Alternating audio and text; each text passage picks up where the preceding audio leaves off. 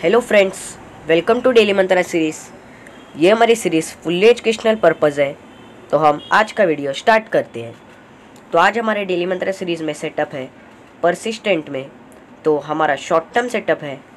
buy eight four seven three two two four seven zero two and stop loss है four six eight four sell eight five one six five two five two zero five and stop loss है five two one eight और हमारा mid term setup है buy about